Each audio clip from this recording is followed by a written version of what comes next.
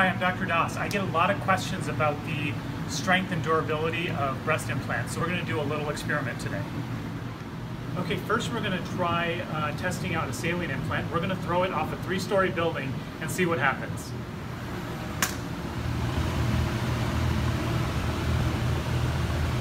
Unfortunately, the saline implant didn't make it. It popped as soon as it hit the sidewalk. Now we're going to try a silicone implant. We're going to test it out by throwing it off of a three-story building.